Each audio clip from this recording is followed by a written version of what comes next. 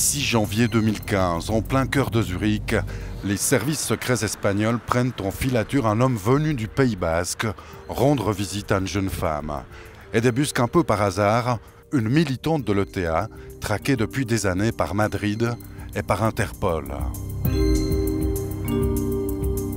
elle voit que trois personnes suspectes qui parlent espagnol, qui sont au téléphone, se trouvent par là, se regardent un peu à droite et à gauche, et puis elle, comprend rapidement que euh, c'est très vraisemblablement des agents espagnols. Elle rencontre euh, son proche, ils prennent euh, la fuite, et puis ces personnes les suivent. Alerté par Madrid qui réclame son extradition, la Suisse l'arrête le printemps dernier. Nekane Chapertagui a été condamné à 7 ans de prison pour avoir fourni de faux passeports à un commando de l'ETA.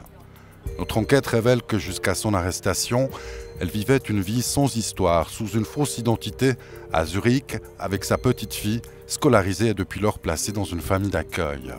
C'est avec son enfant qu'elle a pris la fuite en Suisse pour échapper à la prison, car Nekane Chapartegui, que l'on voit ici à son procès en 1999, a toujours clamé son innocence, expliquant avoir fait des aveux après avoir subi des tortures.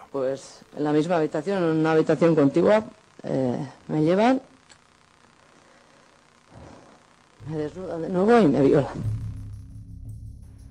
Nous avons retrouvé à Genève Michael Aguibar, tout juste sorti de 10 ans de prison. Cet ancien membre de l'ETA était voisin de cellule de la militante basque au moment de leur arrestation. Dans le cas de Nekane Chapartegui, il a subi une violation, euh, donc abus sexuel. Il y a aussi utilisation d'électricité, euh, asphyxie, euh, empêchement de, de dormir. L'ETA, un sujet très sensible en Espagne marqué par des décennies d'attentats.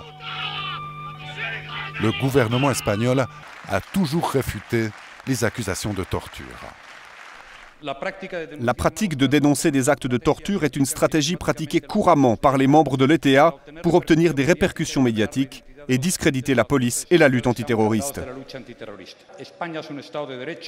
L'Espagne est un État de droit où règne la loi pour tous. Et ceux qui attaquent notre démocratie sont précisément ceux qui ont torturé, ceux qui ont assassiné et transgressé les lois de notre pays.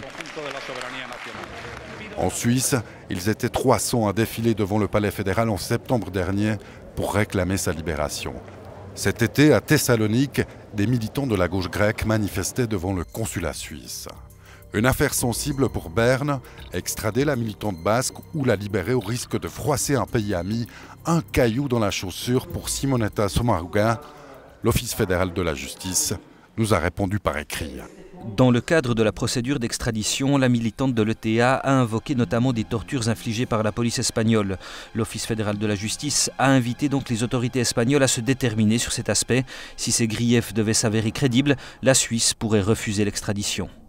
Si elle prend une décision favorable à l'extradition, elle s'expose très vraisemblablement d'une part euh, à un problème, je dirais, politique, donc qui, est de, passer pour un État qui viole la Convention contre la torture. La militante basque qui embarrasse la Suisse a déposé une demande d'asile.